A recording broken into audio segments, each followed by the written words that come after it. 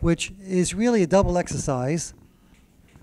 It's first of all just to remind you how to calculate a standard deviation, which is critical for knowing to for knowing how to do chapter seven. You always got to keep calculating standard deviations, but also to remind you of the theory and to make the theory a little more concrete. The basic idea is that when you know the sigma, when the sigma is known, you go to the z. And when, it, when the sigma is unknown, of course, you go to the t. But you would think that as the sample size gets larger and larger, the sigma is unknown, you go to the t. But you would think that the, the t, which represents how much uncertainty there is about the measure of the standard deviation, as the sample size gets larger and larger, you'd expect that the, that the, that the uh, that as you know gets uh, gets larger, then the the s, which is a measure of the standard deviation, should get closer and closer to the true answer of the whole population. In fact, it turns out to be true.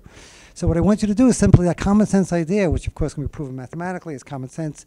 The third way of proving it is by doing this on the spinner assignment, number 29, I believe. 29. And I want you to basically just fill out the following chart with some, some you know, corresponding data. The sample size and the standard deviation. I want you to take a sample size of two numbers. Now, how do you get the sample size of two numbers? Well, you can either pick them up out of the back of the book or use RAND between and RAND between twice highlight those two numbers or highlight the column of two numbers and have the computer, as you should have done many times till now, calculate the standard deviation for you. If you want to do it by hand, and if we're doing this in class, I would say do it by hand, but we're doing this on a computer, so have the, now, what would you guess that answer to be? If you had to pick a single number that might be the best, if you had to bet on it, what would that number come out to be? Because we're picking numbers from a random number table, which we know before we start have a couple of characteristics. We know that the table has an average of 4.5, but we also know that ideally speaking, what is the sigma of that table?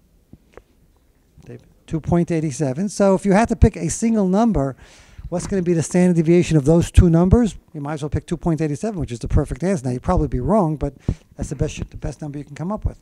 So you're going to do it. You're going to get a number. Then you're going to pick five numbers, which you've already done, but you can do it again. Just pick RAND between five times, highlight the column, calculate the standard deviation. And again, what number would you expect to get? Something close to 2.87, but maybe not that close. It's only five numbers. Then you're supposed to do it again for 10 numbers and 15 numbers. Again, it's really, it used to be done by hand. Now, like on the computer, it's easy. 100 numbers.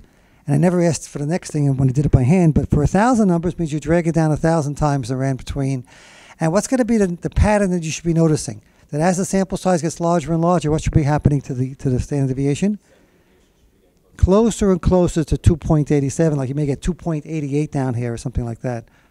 You know, closer and closer. So that's that's simply a way of verifying the basic theory of chapter 8 where we talk about the t and how it relates to the z. And I think that's a valuable exercise. It shouldn't take you more than two or three minutes if you know how to do um, the RAND between and all the other stuff we've been doing so far.